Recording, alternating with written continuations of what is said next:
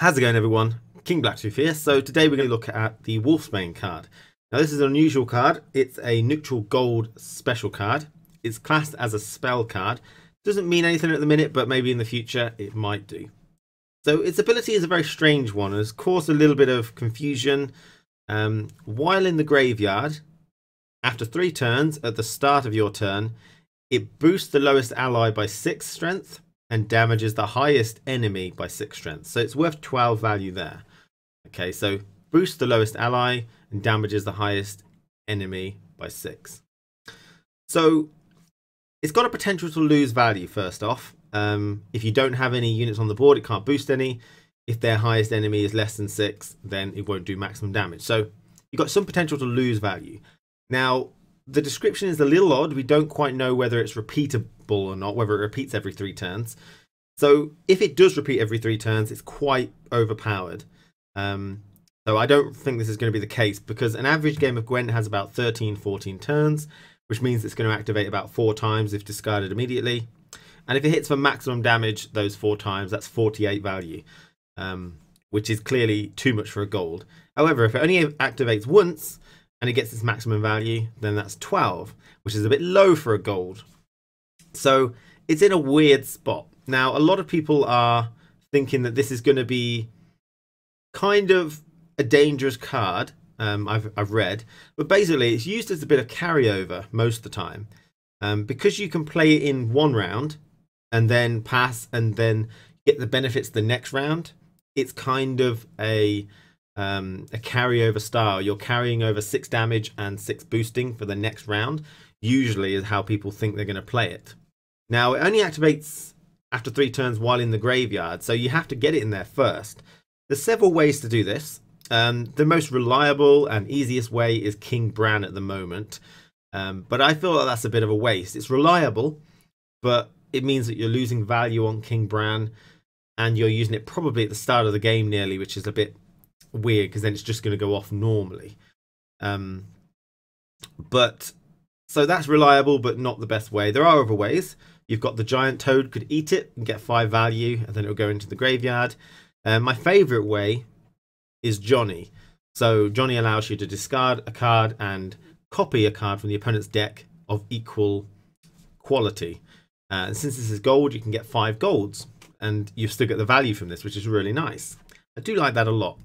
But it does mean that you need Johnny and this card in your hand in order to do that. Um, which is less reliable. But maybe if you combine that with King Bran, you can sort of, you know, do both maybe. But uh, I do like that strategy. And, you know, it's got potential to really screw over the opponent. It's, it's a card that you have to time well. Like, if they, if you lost, you know, if you won the first round, and then you go into round two, you can bleed the opponent with this. I assume if you place it from hand, you just go straight to the graveyard and you just waste a turn, but you didn't lose card advantage, which is great. So, you know, you could bleed the opponent with this and then, you know, pass and transfer it onto the next round, or maybe you could play it in round one just before you're about to forfeit. And when your opponent plays a card in order to just like, you know, win an empty board, this will do six damage to it. it means they'll have to play another card possibly because normally they tend to play their weakest. So it really kind of brings in those kind of kind of mind games and annoying carryover tactics. Um, but as I said, 12 value is not much. So we'll have to see how how kind of cheap it can get. But like I said, that's why people thought it could be like a bit of a dangerous card. It does encourage a carryover style mentality, which I think a lot of people are a bit sick of nowadays.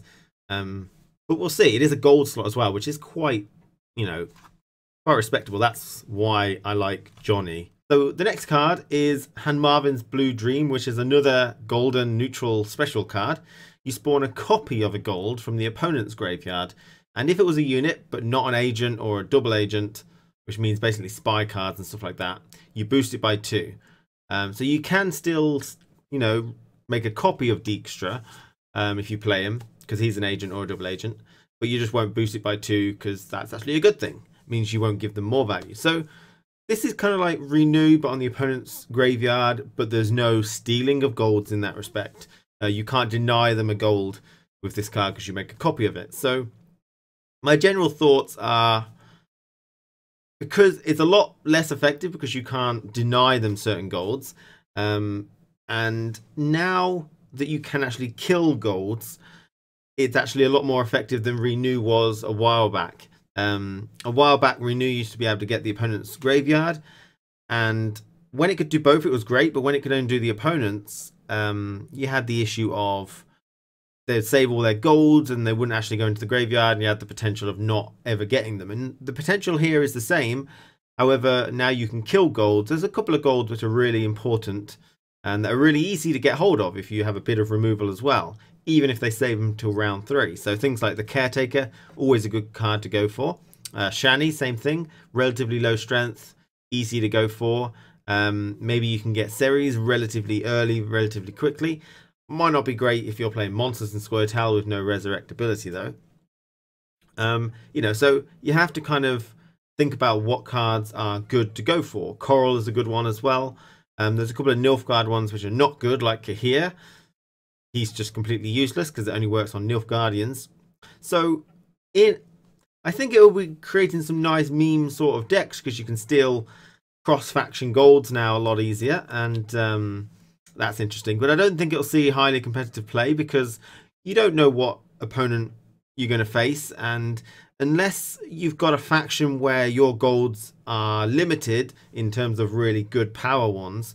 So, for example, say if you're playing Skellige and you've got three golds in your deck, and you're like, all right, this fourth one could be anything. You know, I don't know. I'll take. Uh, maybe I'll take Lambert or something. You know, Eskil or something like that. Um, this could fit in that role again, because um, then you can get a really decent gold from the opponent. You'd have to make sure that you have some removal.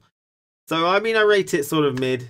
You know, it's it's it's around. It exists, but um, I don't think many people will play it outside of just having a bit of fun. Um, but we'll see. Thank you for watching. Take care. See you again very soon.